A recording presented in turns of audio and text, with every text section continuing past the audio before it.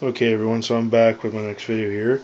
Uh, here's just uh, uh, for any of those that have kids, smaller kids, this is just a quick idea, something I whipped together.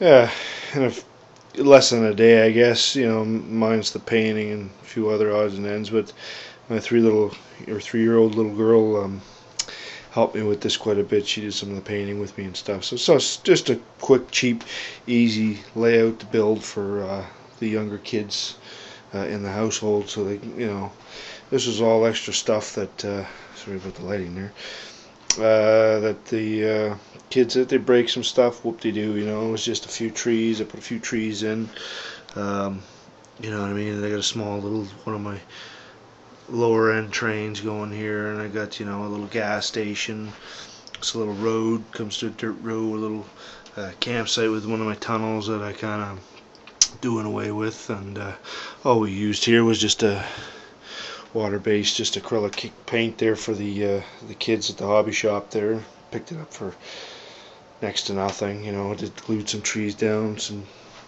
cheap poles um, where else I'd kicking around. Uh, uh, the framing here is just uh, is just uh, one by one by three uh, boards and all I did was just build a, a frame all the way around.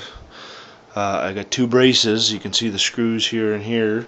Um, I just uh, screwed the legs in.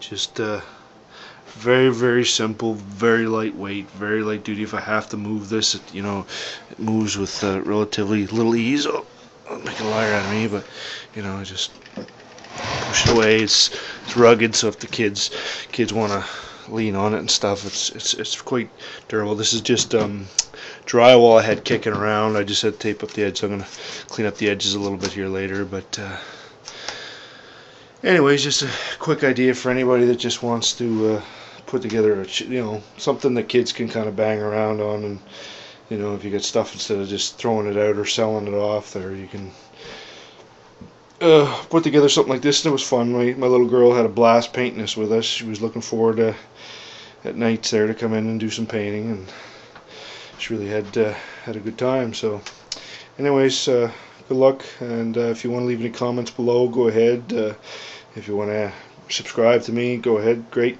Thanks. Have a good night.